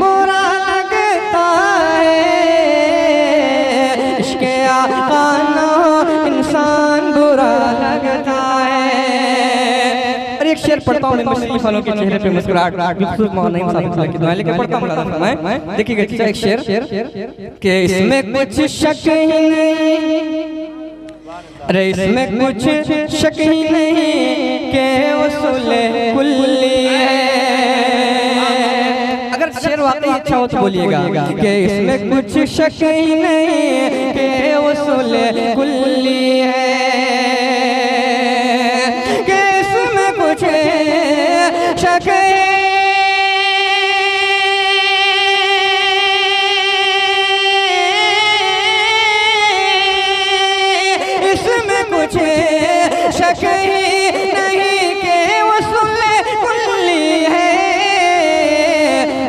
किसी को भी रजा खान बुरा लगता है। हाय हाय, वाह वाह वाह वाह किसी को भी रजा खान बुरा लगता है।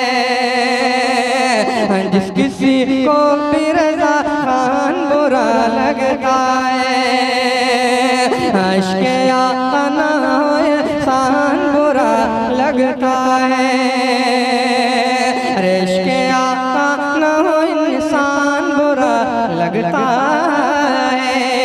मतलब सुने मैं दोबारा ना पढ़ने पर शेर और अच्छे शेर सुना देता हूँ मुरादा फरमाए दर्द पाक पढ़ अल्लाह सल्ली अला सय्यिदना मौलाना मुहम्मद प्रोग्राम नामित किया गया है। बड़ी मेहनतों से ये प्रोग्राम हो पाता है। आप अभी बाहर प्रोग्राम किया जाए या ग्राउंड में प्रोग्राम किया जाए, लेकिन उस प्रोग्राम को करने के लिए बड़ी मेहनत और मशक्कत करनी पड़ती है। लेकिन ये मेहनत और मशक्कत करने के लिए आपके इमाम साहब का जो कीमती वक्त होता है ना, वो कीमती वक्त हम कोशिशों में लगा देते हैं और कोशिश करते हैं कि एक प्रोग्राम रखें ताकि उसके ज़रिए से आप आप लोगों के सामने बाहर के उलमा को बुला करके कुरान और हदीस की जो बातें हैं जो इस्लाम के ज़रूरी कवानीन हैं जो उनकी बुनियादी बातें हैं वो आप लोगों तक पहुंचाएँ। लेकिन कितनी हैरत की बात है कितनी हैरत की बात है कि एक बंदा एक इमाम आपका अपनी मेहनत और मशक्कत से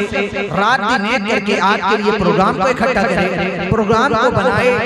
ये सजावट ये रंग ये रूप इस तरीके से पूरी मेहनत मशक्कत करके सजाए फिर उसके बाद में आप अफरा तफरी का माहौल पैदा करें। आप कहीं दूर जा करके बैठे वहाँ से समाप्त करें। ये गलत बात है। ये मेहनतों पर पानी फेरने वाला मसला है। ए मेरे प्यारे तमाम लोगों से गुजारिश करूँगा कि बराए मेहरबानी आप लोग आगे चले आए और बच्चों को पीछे जाने दें। ये चंद मिनट की गुफ्तगू मैं आप लोगों के हवाले कर रहा हूँ उसको मुलाहिजा करें फिर इंशाअल्लाह उलमाए किराम के जो नूरानी किताब है। उनसे इंशाअल्लाह आप अपने आप को मुस्तफीज करेंगे एक मर्तबा दुरूद पाक पढ़ें सल्लल्लाहु अलैहि वसल्लम अल्लामा इकबाल कहते हैं इकाबी रूह जो बेदार होती है जवानों में जब बेदार होती है जवानों में, नज़र आती है उनको अपनी मंजिल आसमानों में। नज़र आती है उनको अपनी मंजिल आसमानों में। न हो, न उम्मीद, न उम्मीदी जवाल इल्म इरफा है। उम्मीद, न उम्मीदी जवाल इल्म इरफा है। उम्मीद मर्द है खुदा के राज में।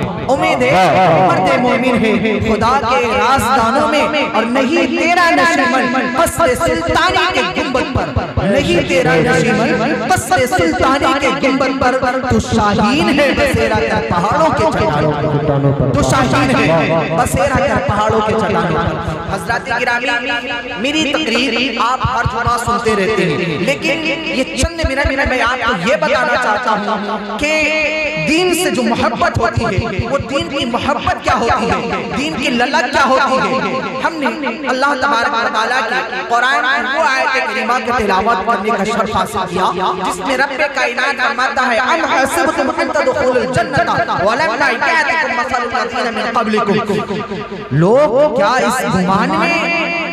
क्या लोग इस गुमान में हैं कि वो कहते हैं कि हम ईमान लेकर के आए और हम इसी तरीके से जन्नत में दाखिल हो जाएँगे। तो खबरदार हो जाओ। तुम्हारा ईमान लाना। तुम्हारा ईमान लेकर के चले आना ये जन्नत का ठिकाना नहीं बन जाता है। बल्कि अल्लाह तबारक व तआला फरमाता है अलिफ लाम मीम अहसिब अन्नास अन युद्रकू अन यक़ूलू आमन्ना। रब कायनात फरमाता है कि तुम्हें इस आजमाया जाएगा, तुम्हें इस पर मसाइब डाले जाएँगे। तरह तरह की तकलीफों में तुम्हें घेरा जाएगा तरह तरह की परेशानियों में तुम्हें मुब्तला किया जाएगा। कभी तुम्हारे ऊपर किसी का ज़ोर डाला जाएगा, कभी तुम्हारे ऊपर किसी जालिम बादशाह को मुकर्रर कर दिया जाएगा तो कभी तुम्हारे ऊपर पानी को बंद कर दिया जाएगा तो कभी तुम्हारे ऊपर कहत सारी का गलबा हो जाएगा।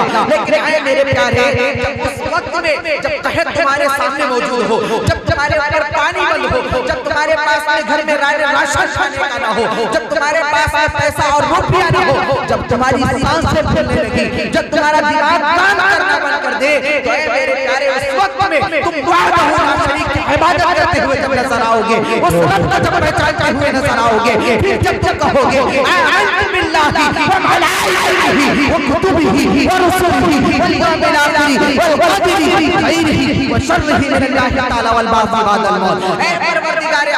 मैं ईमान लाया पर तेरे फरिश्तों पर तेरे मलाइका पर तेरे परवरदिगार आलम मलाइकतिहि व कुतुबिहि तमाम किताबों पर व रुसुलिहि तमाम रसूलों पर और जमात तमाम जो अहकाम है तेरे ऐ परवरदिगार आलम हम उस पर ईमान लेकर के आए इकरार बिल लिसान व तस्दीक बिल कल्ब ऐ परवरदिगार आलम हमने उसको ज़बान लिया और दिल से तस्दीक कर लिया कायनात करता हुआ नज़र आएगा। ऐ मोमिनों खबरदार हो। जाओ जन्नत की वादियाँ तुम्हारे लिए है। ऐ मोमिने संभल जाओ जन्नत के हसीन वादी तुम्हारे लिए है। कब्र का अजाब आप से उठा लिया जाएगा। हर की शक्ति तुम पे कम कर दी जाएगी। अजाब में तकलीफ़ कर दी जाएगी। रब हुआ नज़र आएगा। फिरदौस जो ईमान लेकर आए, अच्छे किए हैं, रब फरमाता है उनके लिए जन्नतुल फिरदौस। उनके लिए जन्नत जन्नतुल फिरदौस में मकाम है। लेकिन मेरे प्यारे ये सिर्फ़ ईमान लाना ये सिर्फ़ कह देना कि हम मुसलमान हैं। मेरे प्यारे इससे काफ़ी नहीं है। हज़रत हारून रशीद हज़रत फुजैल बिन अयास रहमतुल्लाहि ताला अलैहि का जमाना है।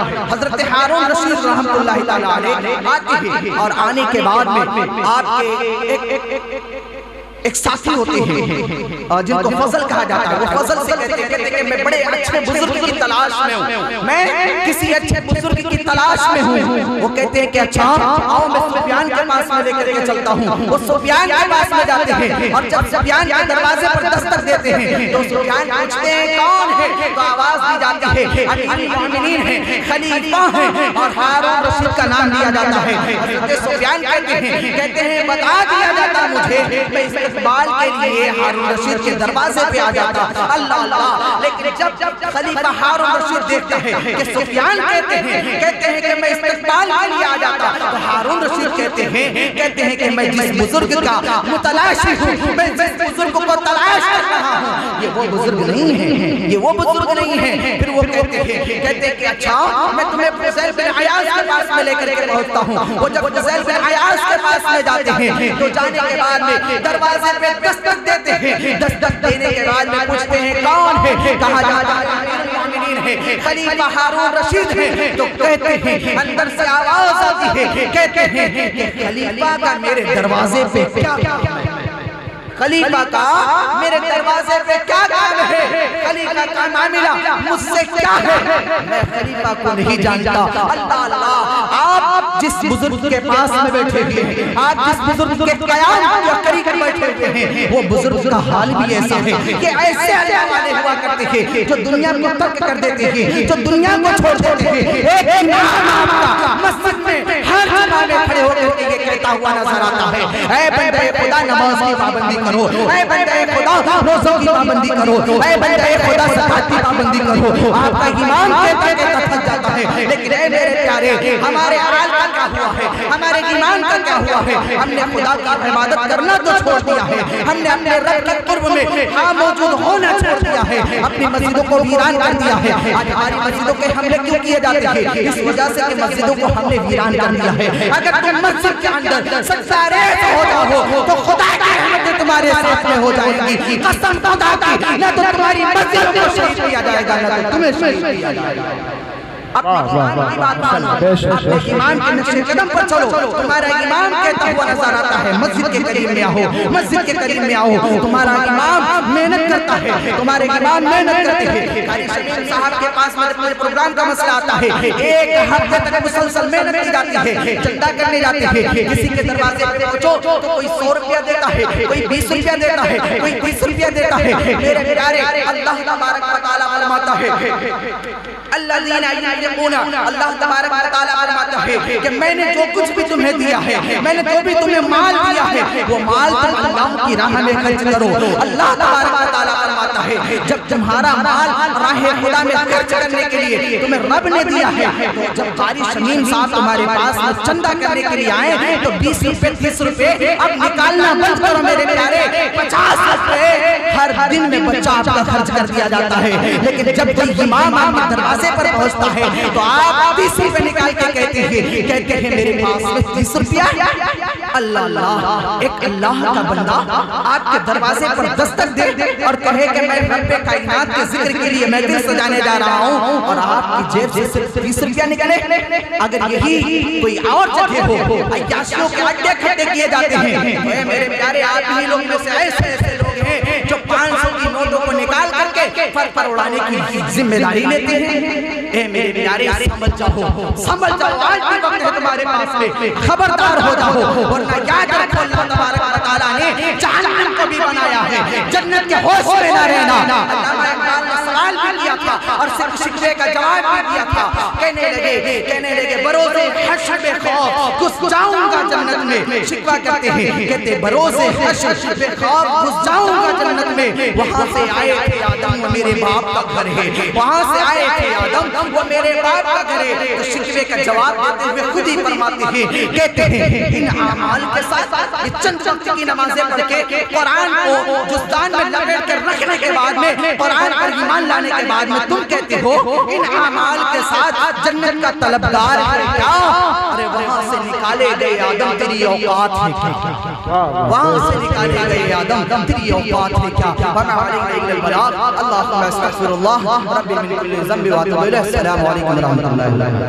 फरमाते सरवर कहूँ कि मालिको मौला कहूँ तुझे। बागे खलील का गुले ज़ैबा कहूँ तुझे। तेरे तो ऐबे तनाही से है बरी। हैरा हूँ मेरे शाह में क्या क्या कहूँ तुझे। लेकिन रजा ने खत में सुखन इस पे कर दिया। खालिक का बंदा खल्क का आका कहूँ तुझे। खालिक का बंदा खल्क का आका कहूँ तुझे।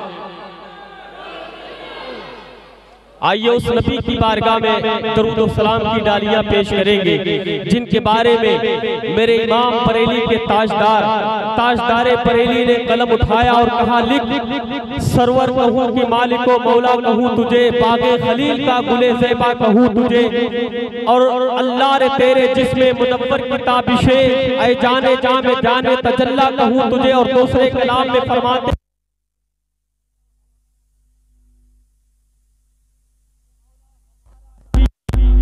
वाला वो वाला हमारा नबी, क्या खबर पत्र तारे खिले छे पर डूबे न डूबा हमारा नबी कर्म बदली रसूलों में होती रही, पर बदले न हमारा नबी, और जिनके तलबों को धोए हुए आगे हयात है वो जाने मसीहा हमारा नबी, और कौन देता है, देने को मुँह चाहिए, देने वाला है सच्चा हमारा नबी, देने वाला है सच्चा हमारा नबी और गमजदों को दीजिए की है। सहारा हमारा नबी बेबसों का सहारा हमारा नबी। उस नबी की बारगाह में दरूद पाक पढ़ेंगे, जिस नबी की शान बयान करते हुए मेरे आला हज़रत कलम उठाते लिखते हैं, मुस्तफ़ा जान रहमत पे लाखों सलाम, शमे बस में हिदायत पे लाखों सलाम। जिनकी पेशानी मुबारक को देख करके मेरे इमाम ने कलम उठाया और कहा लिख जिसके माथे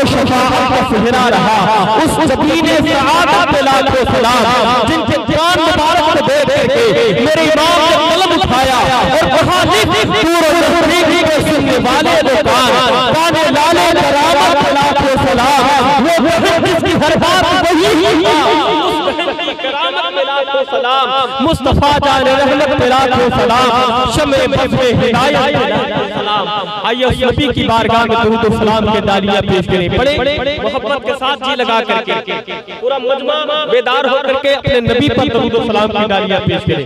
बड़े अल्लाहुम्मा सल्ली अला सय्यिदिना व मौलाना मोहम्मद मुबारक वसल्लम सलातम व सलाम अलैका या रसूल अल्लाह या हबीब अल्लाह या नबी अल्लाह सल्लल्लाहु अलैहि वसल्लम सुनियो अपने मुकद्दर पर नाज करें। मेरे नबी का फरमान सुने, दरूद पाक के ताल्लुक से इंशाअल्लाह आपका ईमान ताज़ा हो जाएगा। आपका दिल पाक पाक हो जाएगा। मेरे आका फरमाते हैं, अगर कोई शख्स रस्मी तौर पर मुझ पर दरूद पाक पढ़ता है तो उसके दरूद पाक को फरिश्ते मेरी बारगाह में पेश करते हैं। मतलब बोले, सुभान अल्लाह, जो शख्स रस्मी तौर पर मुझ पर दरूद पाक पढ़ता है तो फरिश्ते उसके दरूद को मेरी बारगाह में पेश करते हैं। और जो कोई मेरा आशिक मेरा चाहने वाला मेरा उम्मती मोहब्बत के साथ मुझ पर दरूद पाक पढ़ता है। तो मैं अपने उस आशिक को पहचानता भी हूँ और अपने उस आशिक के दरूद पाक को सुनता जब भी आपसे दरूद पाक पढ़ने के लिए कहा जाए तो मोहब्बत के साथ खुलूस के साथ दिल जमई के साथ हमें दरूद पाक पढ़ना चाहिए। अल्लाह ताला कुरान पाक में इरशाद फरमाता है या अय्युहल्लज़ीना आमनु तकुल्लाह व कूनू मास-सादिकीन इसका तर्जुमा क्या है? इसका तर्जुमा यह है? कि ऐ ईमान वालों अल्लाह से डरो और सच्चों के साथ हो जाओ। अल्लाह तबारक व तआला ईमान वालों को मुखातब करके फरमाता है ऐ ईमान वालों अल्लाह से डरो और सच्चों के साथ हो जाओ। अजीजान मिल्लत इस्लामिया अगर हम सिर्फ़ अल्लाह तबारक व तआला से डरेंगे तो हम दुनिया की छोटी बड़ी ताकत से नहीं डरेंगे। इसलिए कि जो अल्लाह के वली होते हैं जो अल्लाह के महबूब बंदे होते हैं जो अल्लाह के बरगुजीदा बंदे होते हैं ये शहीद मरद रहमतुल्लाह अलैह अपनी मज़ार पाक में आराम फरमा रहे हैं। ये जब इस जाहिली दुनिया में बाहयात थे तो सिर्फ़ ये रब से डरते थे इसीलिए तो अल्लाह तबारक व तआला की बारगाह में इन्होंने अपनी जान का नजराना पेश कर दिया। और जो अल्लाह तबारक व तआला से डरता है, वो दुनिया की छोटी बड़ी ताकत से नहीं डरा करता है। और जो दुनिया की जो दुनिया की छोटी बड़ी ताकतों से डरा करता है। तो वो डरा करता है। आप देखें जो अल्लाह के वली होते हैं, जो अल्लाह के महबूब बंदे होते हैं। उनके दिल में सिर्फ़ खौफ खुदा होता है। उनके दिल में सिर्फ़ खशियत इलाही होती है। अल्लाह अकबर, एक सहाबी रसूल है। तारीख जिनका नाम हज़रत सफीना रज़ी अल्लाह बताया गया है। वो आका करीम सल्लल्लाहु तआला अलैहि वसल्लम और सहाबे किराम का जाते राह और साजो सामान अपने सर पर लाद करके चला करते थे। मेरे आका जब भी किसी जंग में तशरीफ़ ले जाते मेरे आका के सहाबा और मेरे आका के सहाबा और मेरे आका का जो साजो सामान होता था। जो रास्ते का सामान होता था वो हज़रत सफीना रज़ी अल्लाह अपने सर पर लाद करके चला करते थे। एक मरतबा सरकार का सामान और सहाबा का सामान हज़रत सफीना रज़ी अल्लाह तआला ने सर पर लादे हुए थे। मेरे आका ने इरशाद फरमाया तुम मेरे सफीना हो। यानी तुम मेरे कश्ती हो। हज़रत सफीना रज़ी अल्लाह तआला को सरकार के लभाए पाक से निकला हुआ ये नाम इतना पसंद आ गया इतना पसंद आ गया कि जब भी कोई आपसे आपका नाम पूछता था तो आप उसे अपना असली नाम बताते थे बल्कि हज़रत सफीना ही नाम। सरकार से मोहब्बत थी सरकार से चाहत थी हज़रत सफीना रज़ी अल्लाह तआला को अल्लाह अकबर तुम्हें बताना चाहता हूँ कि हज़रत सफीना रज़ी अल्लाह एक मर्तबा सरकार के साथ में सफ़र कर रहे हैं मेरे आका आगे आगे तशरीफ़ ले जा रहे हैं उनके साथ उनके पीछे वो सहाबा किराम जिनके बारे में अल्लाह के नबी ने इरशाद फरमाया असहाबी की नजूर में मेरे सहाबा सितारों के मालिक हैं तो तुम उनमें से जिसकी भी इत्तबा करोगे, हिदायत पा जाओगे। अल्लाह अकबर। सहाबा किराम पीछे पीछे जा रहे हैं। अल्लाह के रसूल का मुकाबला आगे निकल गया। हज़रत सकीना रज़ी अल्लाह तआला अन्हु काफिले से पिछड़ गए। आप गुजर एक जंगल से होता है। और जब जंगल के बीचों बीच में आप पहुँचे तो क्या देखा शेर आपके सामने खड़ा है। और शेर चाहता है कि आपके ऊपर हमला कर दे। शेर अपने पंजों को खोलता है और आपके ऊपर हमला करना चाहता है। कि हज़रत सकीना रज़ी अल्लाह तआला अन्हु कहते हैं ए शेर मुझे देख के मैं अल्लाह के रसूल का गुलाम हूँ। के यहाँ जितने भी आशिकाने रसूल बैठे हैं वो सब अल्लाह के रसूल सल्लल्लाहु अलैहि वसल्लम के गुलाम हैं। हम सब गुलामे पंजतर हैं। हम सब गुलामाने सहाबा हैं। हम सब गुलामाने अहले बैत हैं। हम सब गुलामाने औलियाए किराम हैं। अल्लाह अकबर। हज़रत सफीना रज़ी अल्लाह तआला अन्हु कहते हैं ए शेर मुझे देख कि मैं अल्लाह के रसूल का गुलाम हूँ। तो शेर ने तुम हिलाई और शेर ने आपका रास्ता छोड़ दिया। अब यहाँ एतराज़ करने वाला एतराज़ कर सकता है। सवाल करने वाला सवाल कर सकता है। तो हज़रत सफीना रज़ी अल्लाह को ये कहना चाहिए था कि शेर मुझे देख के अल्लाह का बंदा हूँ। अजीजान मिल्लत इस्लामिया खौफ को आप अपने अपने जहन में बसाएँ और मेरी बात को मुलाहिजा करें। अल्लाह तबारक व तआला के वो वो चहीते बंदे हुजूर अली सलाम के चहीते सहाबी, हज़रत सफीना कहते हैं शेर मुझे देख के अल्लाह के रसूल का गुलाम हूँ। अब एतराज़ करने वाला एतराज़ करता है। कि हज़रत सफीना को ये नहीं कहना चाहिए था कि मुझे देख के मैं अल्लाह के रसूल का गुलाम हूँ बल्कि ये कहना चाहिए था कि ये शेर मुझे देख मैं अल्लाह का बंदा हूँ। इसका एतराज़ का इस एतराज़ का जवाब ये है। इस सवाल का जवाब ये है कि अगर हज़रत सफीना रज़ी अल्लाह ये कहते मुझे देख के मैं अल्लाह का बंदा हूँ तो यकीन शेर आपके ऊपर हमला कर देता। इसलिए कि सारे इंसान अल्लाह ही के बंदे हैं। हम अल्लाह के बंदे हैं। हैं। आप अल्लाह के बंदे हैं। इस मजार शरीफ के अहाते में जितने लोग बैठे वो सब अल्लाह के बंदे हैं। सारे इंसान अल्लाह के बंदे हैं। हज़रत सफीना अल्लाह अगर ये कहते ए शेर देख, मैं अल्लाह का बंदा हूँ तो शेर आपके ऊपर हमला कर देता। हज़रत सफीना ने ये कहा, ए शेर देख, मैं अल्लाह के रसूल का गुलाम हूँ। तो इस बात से हमें ये पता चलता है, हमें ये दर्श मिलता है। उस सहाबी पैगाम मिलता है कि बेखौफ वही होगा जो बंदा रब का हो मदीने वाले। बेखौफ वो नहीं होगा जो सिर्फ़ बंदा रब का हो। बेखौफ वो नहीं होगा बल्कि बेखौफ वही होता है जो बंदा रब का हो गुलाम मदीने वाले आका का हो। सुभान अल्लाह। शायर कहता औलियाए कराम की शान बयान करते हुए फरमाता है वली वली है विलायत की शान बनते हैं। अपने दोनों हाथों को उठा करके अपना जज्बा बेदार करके बोले या रसूल अल्लाह बस बस यही महफिल ये महफिल इसी तरह कामयाब होगी। ये महफिल इसी तरह कामयाब होगी। कोई देखे न देखे जिस नबी की महफिल में आप बैठे हैं वो नबी अपने गुंबद खबरा के साए के नीचे आराम फरमा रहे हैं और हम गुलामों को यहाँ बैठना अपने माथे की निगाहों से। इसलिए कि हम सबका ईमान है। हम सबका ईमान है। तू ज़िंदा है वल्लाह तू ज़िंदा है वल्लाह मेरी चश्मे आलम छुप जाने वाले। मेरी चश्मे आलम छुप जाने वाले और आप खुश हो जाए। अल्लाह के नबी ने इरशाद फरमाया है इन ज़िक्र सालिहीन सालिहीन के ज़िक्र के वक्त अल्लाह की रहमतों को नज़ूल होता है। अरे, जब सालिहीन के ज़िक्र के वक्त अल्लाह की रहमतों को नज़ूल होता है तो जो सालिहीन की सरदार है, जो औलियाए के सरदार है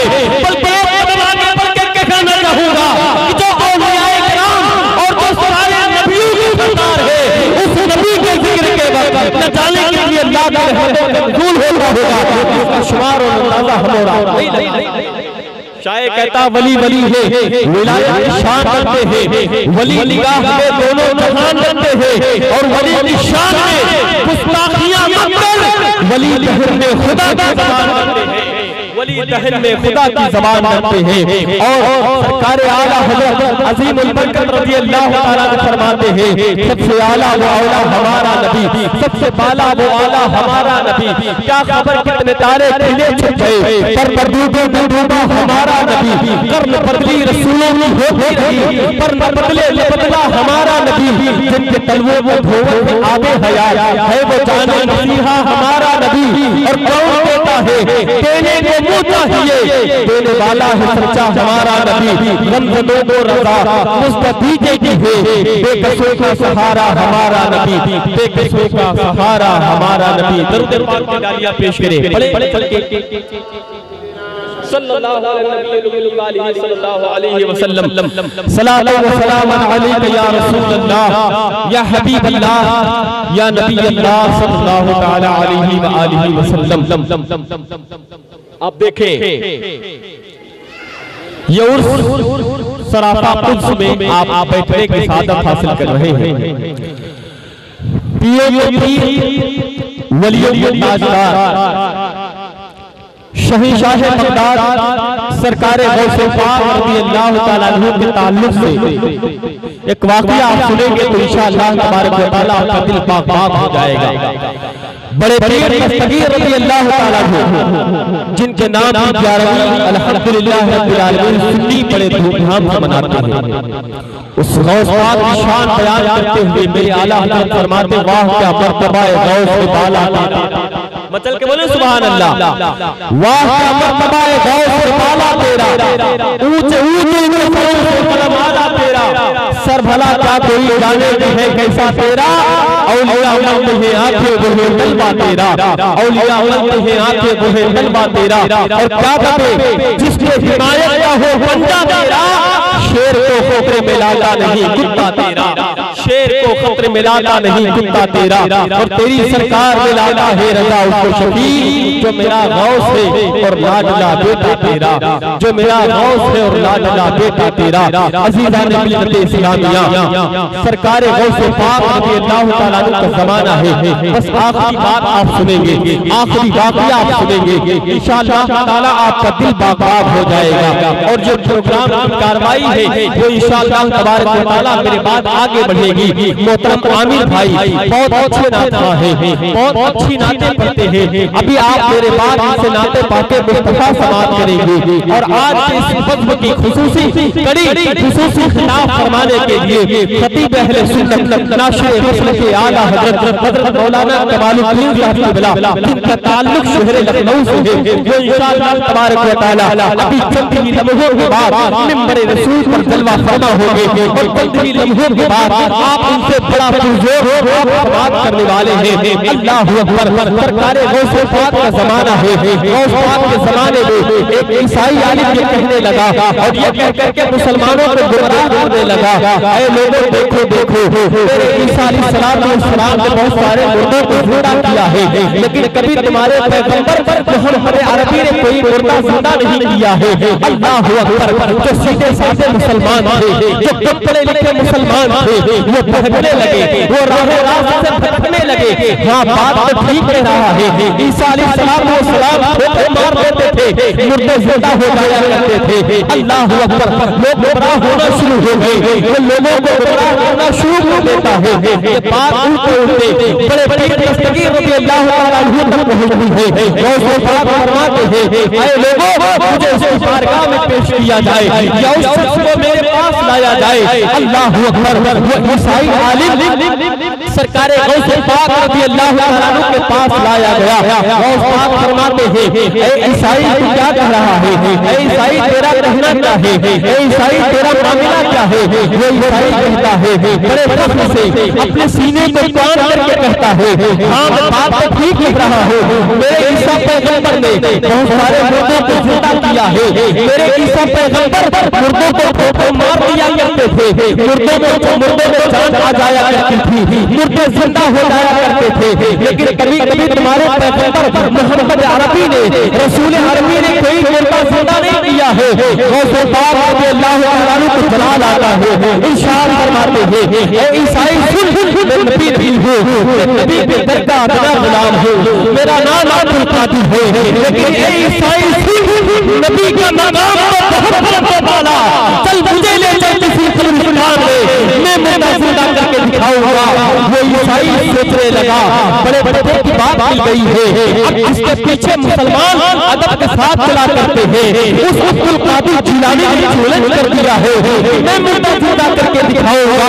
अल्लाह अकबर वो ईसाई आपको लेना है। अरे पुराने से कब्रिस्तान में चला जाता है। कब्रिस्तान में जाने के बाद बहुत पुरानी कब्र जो गिरी हुई थी बिल्कुल बेसुदा कब्र थी। उस कब्र पर ले जाकर के खड़ा कर देता है। वो ईसाई सरकार गौसे पाक को और वो ईसाई कहता है। ऐ अब्दुल कादिर जिलानी आपका चैलेंज है मैं मुर्दा ज़िंदा करके दिखाऊँगा। इस कब्र के मुर्दे को आप ज़िंदा करके दिखा दीजिए। गौसे पाक रज़ी अल्लाह तआला अन्हु इरशाद फरमाते हैं ऐ ईसाई सुन जब तेरी ईसा अलैहिस्सलाम मुर्दे ज़िंदा किया करते थे। तो क्या कहा करते थे? वो ईसाई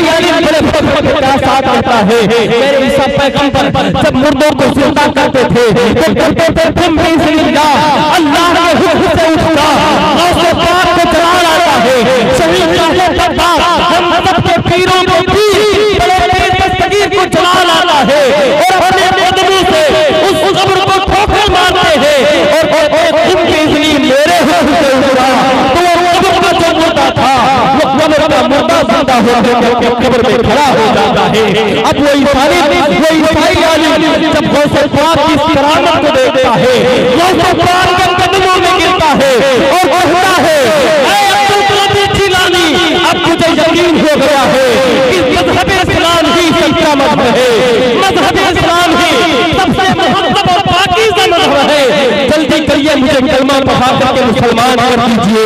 इसलिए कि जब